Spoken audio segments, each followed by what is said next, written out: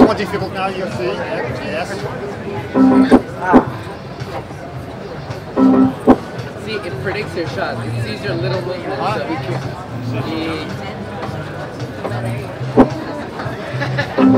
can...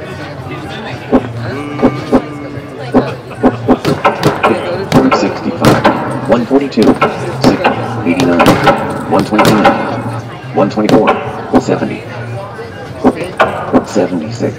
Okay, now five. now let's go.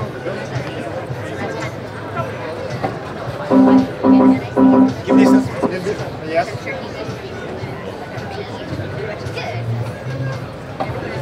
this 93, 52.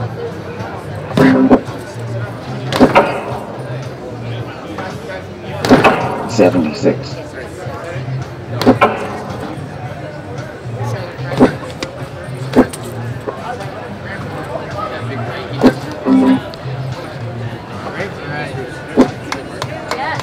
tell you uh, a little bit for about other things.